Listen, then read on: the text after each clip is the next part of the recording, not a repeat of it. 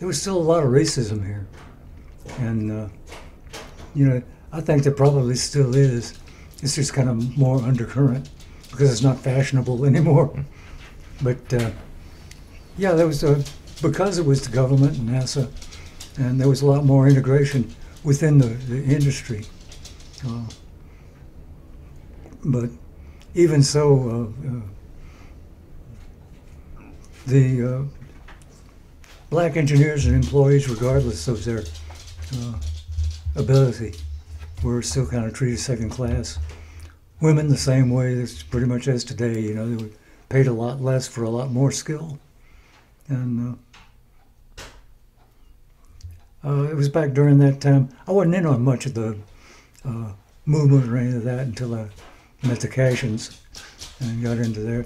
First guy that uh, I bumped into was Andrew Dawkins, uh, who was a radio disc jockey for uh, WEUP. Uh, he used the radio name, his professional name was Sugar Daddy. And he was, a lot of people thought he was kind of an Uncle Tom because he liked hanging out with white people.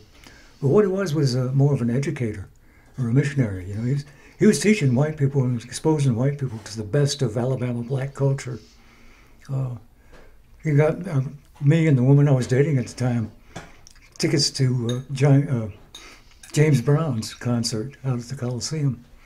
That was killer. the man's got a killer band, and uh, all other kinds of uh, you know got us into the Elks Club on Pulaski Pike, where we heard BB King doing a Chitlin Circuit uh, tour live. They're right there in the best of all possible venues, you know, a, a club like that.